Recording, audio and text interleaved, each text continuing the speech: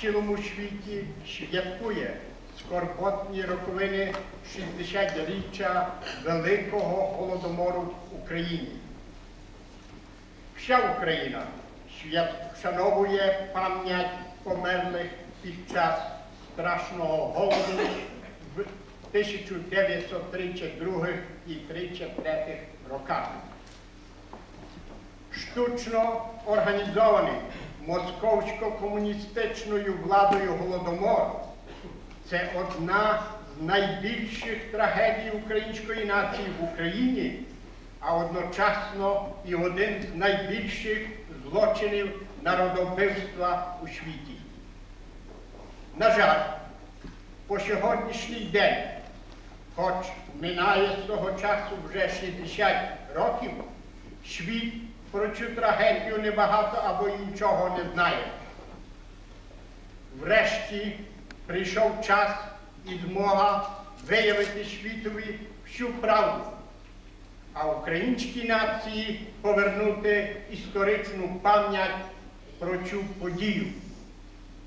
Треба, щоб людство усвідомило собі, що пережив тоді працьовитий український народ, якому на родючій землі прийшлося мільйонами чоловіків і жінок, дітей і старців помирати з браку хліба, який відняла в нього московсько-большевицька злочинна рука. Вимирали цілі села, померлих хоронили в братських могилах, що по них сьогодні і сліду не стало. Наслідки голодомору відбилися страшним тавром на цілому суспільному житті України, її демографічному розвитку, побуті і культурі народу. Нашим національно-громадським обов'язком є приєднатися до скорбного поминання жертв голодомору в 32 і 33 роках в школах, домівках, церквах і публічних місцях. Нашим обов'язком є не тільки гідно вшанувати пам'ять про голодомор, але й поінформувати про нього цілий світ, а винних за цей злочин засудити.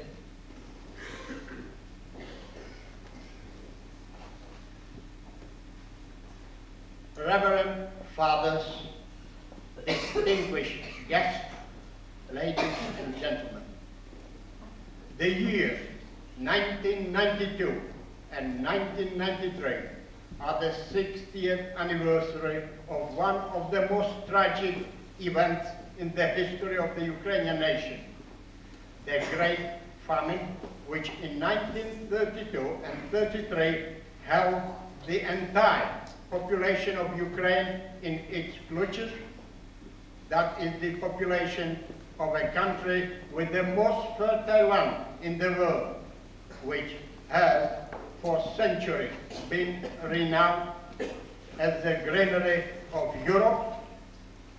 The famine also raged in Crimea and in Caucasus, inhabited by the Ukrainians. Other countries, too, have in the past been afflicted by famines. However, these were famines of natural origin. But the great famine of 1932 and 33 in Ukraine, named by the people the Stalin famine, was not of natural origin. It was not brought about as a failure of crops or by the other natural disasters. It was an artificially induced famine deliberately organized by the Kremlin according to a definite plan as a means of intimidating, combating, and suppressing the recalcitrant Ukrainian nation. In organizing the Great Famine in Ukraine in 1932 and 33, the Kremlin pursued two ends. First, to drive the recalcitrant Ukrainian people into collective farms and this turn them into slaves who would obediently serve the insane Bolshevik idea of conquering the whole world. Second, to throw at Moscow feet the Ukrainian nation, which is so hated by imperialistic Moscow, and this so once and for all the incessant struggle of the Ukrainian people for their political and economic independence, as well as for the preservation and development of their natural culture. Although the Kremlin succeed at least partially in attaining the first end, the second one remained unattainable. Struggle of the Ukrainian nation for independence continued until today. The great famine of 1932 and 33 was the climax. It was the diabolical answer of the Russian Empire to the inflexible struggle of the Ukrainian people for their right to their national independence. Today, commemorating the Great Famine is not merely a tribute to the millions of innocent victims whom Stalin and his henchmen sacrificed to the communist monster. This is a clear sign that having departed from the evil empire, the Ukrainian nation has set a firm never again to its former status and to authoritarian rule, no matter in what form it may disguise itself. The price which Ukraine had to pay was too high. No war in which Ukraine has been involved had ever taken such a toll. А тепер я попрошу всечесніших отців провести молитву, за ким ми почнемо далі.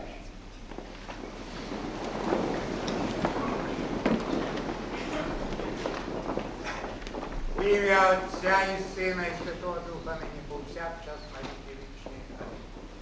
У ім'я Отця і Сина і Святого Духа нині повсякчас на віки вічні. Амінь. У ім'я Отця і Сина і Святого Духа нині повсякчас на віки вічні. Амінь. Цар Небесний всіх послухай. Царю Небесний, утішителю душі, що всюди єси і все скарби добра життя полавину, прийди оселися нас, і очисти нас від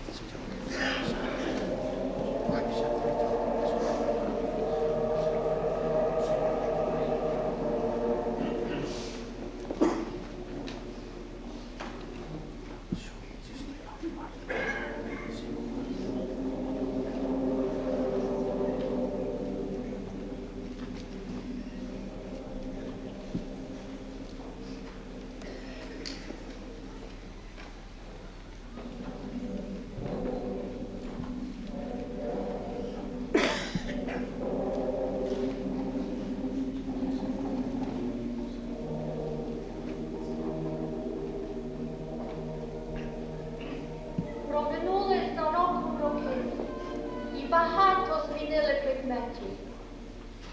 Та згадок не зачмерять віки за проклятий той вік тричетрети. І немов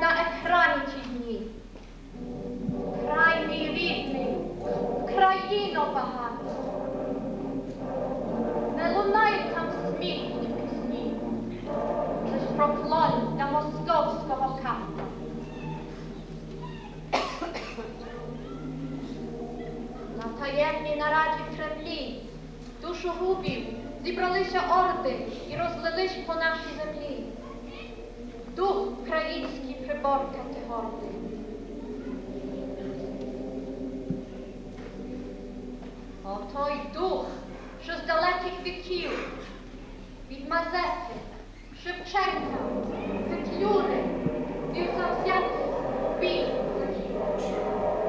штурмував московські мури.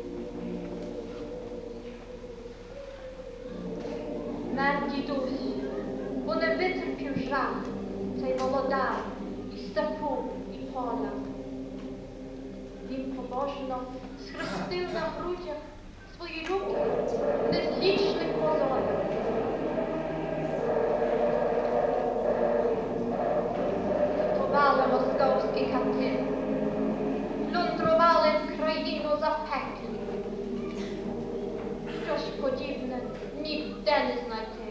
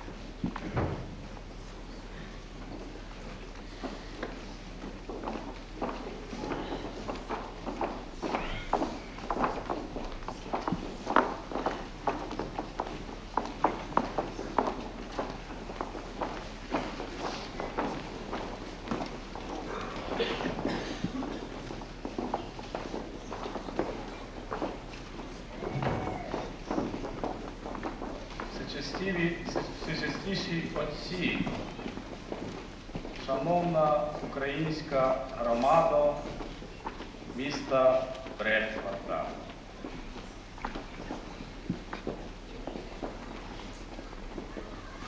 Цей жалібний день разом з вами, разом з тею невеликою частиною українського народу яка долею і волею її гнобителів була вигнана з рідної землі, з рідної домівки, але далеко від своєї землі виносила вирок тим злочинним елементам, які поневолювали нашу Україну. Робила все для того, щоб світ, щоб людство, щоб Україна знала про ті злочини, які коїлись на її землі. В ці 60-ті роковини трагедії українського народу вперше Україна, яка здобула свою незалежність, з вами разом, з частиною українського народу, яка є за кордоном, відмічає цю трагічну дату. І я маю обов'язок від українського народу, від представництва нашої держави, яке є тепер тут, подякувати українцям, що живуть в Великобританії та і в інших країнах, за те, що вони зберегли пам'ять про ці трагічні дні для України, за те, що вони продовжували все робити, щоб зберегти українську мову, культуру, все, що чим багатий духовно наш народ. За це вам велика подяка. 32-й, 33 рік. Роки страшної трагедії. Вже пов'язана терновим вінком великої неволі українська нація, українська земля переживає чи не найбільшу трагедію в історії людства. Штучно створений злочинною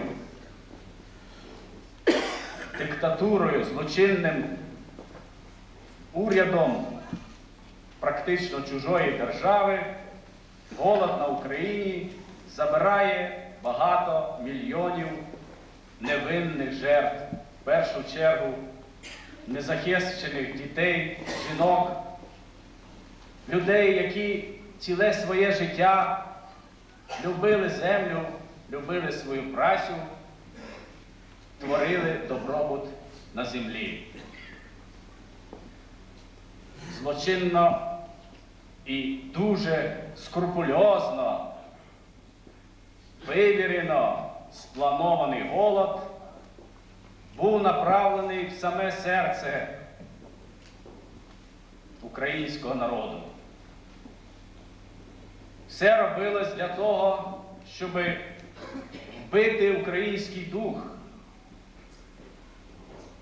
щоб знищити опору українського народу, його селянина. Перед тим більшовицький уряд робив зовсім продумані і плановані акції. Знищувалась українська інтелігенція, знищувалось все те, що могло чинити опір свавільній диктатурі. Село було насильно затягнено в колективізацію і практично лишилося змоги навіть робити яку-небудь спробу опору тому страшному свавіллю, яке на нього насувалося.